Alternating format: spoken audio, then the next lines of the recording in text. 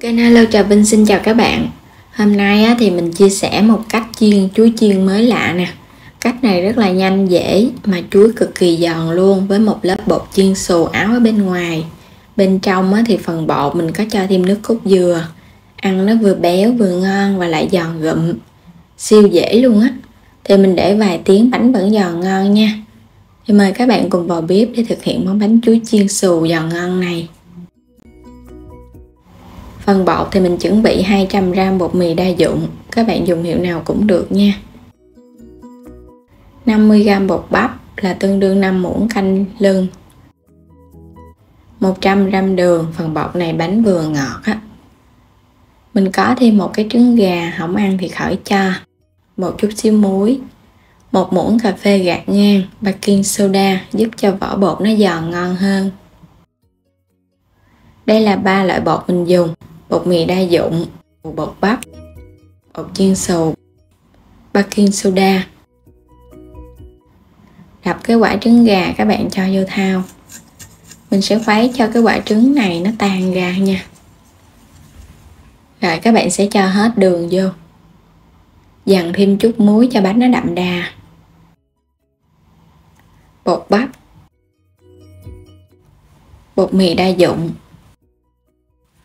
baking soda hay là muối nở á, bột nghệ giúp cho nó có màu vàng đẹp hơn còn không có thì các bạn bỏ qua hoặc là có thể dùng màu thực phẩm cũng được. Mình trộn sơn cái rồi lấy nước cốt dừa cho vô. Mình cho vào đây 350ml nước cốt dừa. Nếu như các bạn thích cái bột nó hơi lỏng hơn thì mình dùng 400ml nha. Ngoài nước cốt dừa ra thì cũng có thể dùng sữa tươi hoặc là cái loại nước có ga giúp cho cái vỏ bột nó giòn ngon và để được cái độ giòn nó lâu hơn. Trộn đều lên để bảo đảm phần bột của mình nó tan kỹ. Rồi các bạn sẽ để 15 phút cho bột nở ra. Có chuẩn bị tiếp là chuối xiêm nha. Chuối này mình dùng chuối xiêm đen á. Chuối chín nó hơi muội chút để nó có cái độ ngọt ngon hơn chuối vừa chín tới. Mình sẽ chẻ ra hai nải này cũng nhỏ thôi, với cái lượng bột này thì mình dùng được hai nải chuối nhỏ vậy nè. Còn nếu mà chuối hơi lớn thì các bạn dùng một nải đến nải rưỡi, khoảng 20 trái chuối á. Mình lọc hết phần vỏ xong rồi bây giờ mình chẻ đôi nó ra nha. Làm đến đâu thì chẻ đến đó để cho trái chuối nó ngon, nó không có bị mềm á. Chẻ đôi ra thì cái phần này mình sẽ nhúng vào trong bột.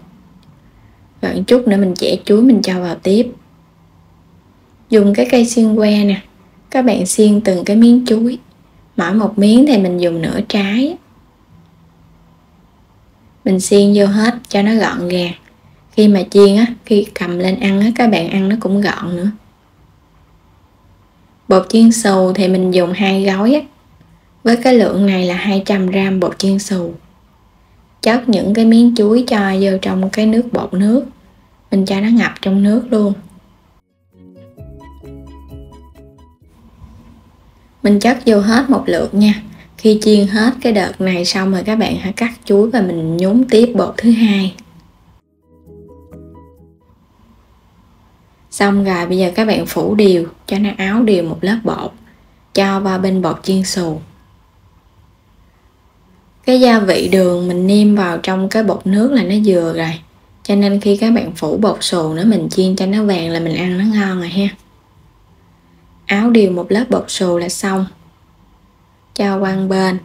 Tương tự thì mình cũng làm tiếp vậy nè. Nhúng cho cái phần bột nó hơi nhiều một chút. Thì mình thấy cái lượng bột nước vậy là nó vừa.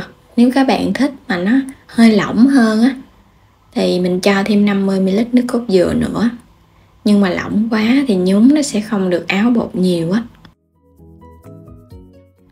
Vậy thì mình thấy nó áo bột nó vừa nó có độ giòn ngon. Làm tương tự những cái phần chuối còn lại, xong rồi mình đi bắt dầu lên chiên. Dầu ăn thì các bạn cho khoảng nửa chảo thôi. Trừ hao chút mình cho chuối vô á, phần dầu nó còn được ngập lên trên nữa. Đợi cho dầu nóng sôi, thì mình lấy những cái que chuối mình cho vào. Dầu phải sôi các bạn hãy cho chuối vô, mình chiên vậy bột nó mới giòn nha. Và cho chuối vô chiên thì các bạn để ở mức lửa trung bình. Đừng có để cho nó lửa nó áp quá thì chuối ở bên trong nó chưa kịp chín mà cái lớp bột bên ngoài nó đã vàng khét á. Mình chiên lửa nhỏ từ từ, khi nó vàng một mặt rồi mình sẽ trở bề. Chở cho nó vàng hai mặt bánh chuối lớp bột sụ rất là giòn luôn và nó có cái màu vàng đẹp nữa. Cho nó vàng thêm một mặt nữa để cho nó giòn ngon hơn. Khi thấy miếng chuối nó vàng vừa ý nè, giòn rụm luôn, rồi mình sẽ vớt lên và để cho nó ráo dầu những cái miếng chuối chiên xiên que vừa lạ mà vừa hấp dẫn nữa vàng ôm giòn rụm nè. Trong bột các bạn pha thêm nước cốt dừa hoặc là sữa tươi thì mình ăn cái miếng chuối chiên đó, nó ngon hơn nó có độ béo. Và chiên tiếp cái phần chuối còn lại nha. Và với cái phần bột ướt này các bạn cũng có thể ép chuối ra nha. Mình nhúng bột mình chiên cũng giòn ngon luôn. Và đây là phần chuối mình đã chiên xong nè. Bên ngoài giòn rụm. Có lớp bột màu vàng óng ánh có thể ăn kèm với sốt mayonnaise, tương ớt hoặc là mình ăn không vậy vẫn ngon.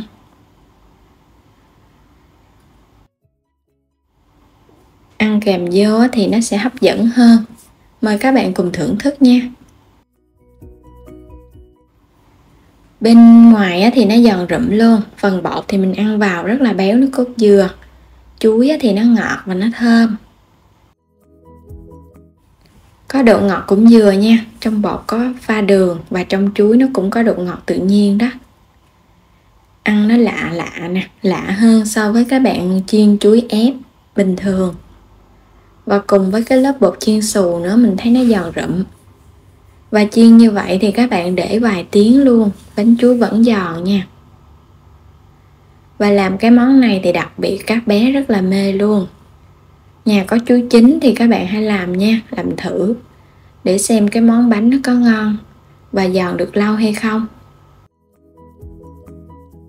Thì các bạn vẫn để yên vậy nè, mình chiên xong mà mình để cho nó ráo dầu, thì cái phần dầu á, nó hút ra ngoài hết thì chuối của mình nó sẽ giòn được lâu. Và đến đây thì mình chúc các bạn ngon miệng với món bánh chuối chiên xù kiểu mới. Và đừng quên đăng ký kênh và đừng quên đăng ký kênh ủng hộ mình và để nhận những video mỗi ngày xem kênh nha. Xin chào tạm biệt và hẹn gặp lại các bạn trong những video tiếp theo.